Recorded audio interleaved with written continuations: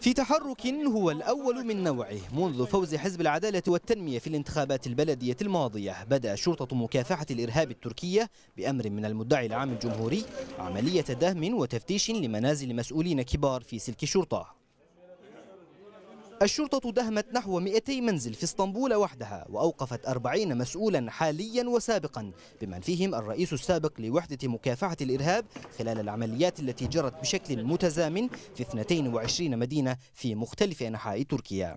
Şimdi zaten Sayın Başbakan'ın e, تطهير الدولة من عناصر الكيان الموازي كان من أهم ما وعد به أردوغان قبل الانتخابات المحلية التي أثبتت بعدم تمتع الجماعة بقاعدة شعبية متينة.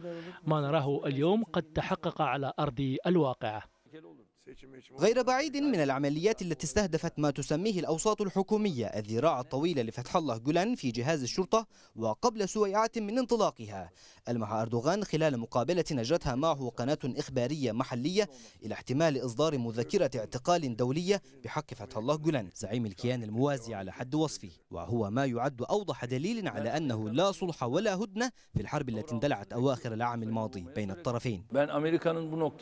الكيان الموازي يشكل خطرا على أمننا القومي. أتوقع من واشنطن أن تتخذ ما يلزم من الإجراء بحق فتح الله. جولان.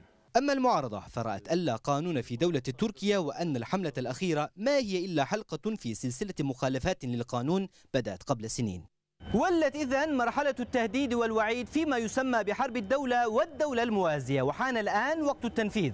وعلى ما يبدو فإن هذه الحرب لن تقف عند حد جهاز الشرطة بل ستمتد إلى مختلف أجهزة الدولة. سليمان عطية الجزيرة إسطنبول.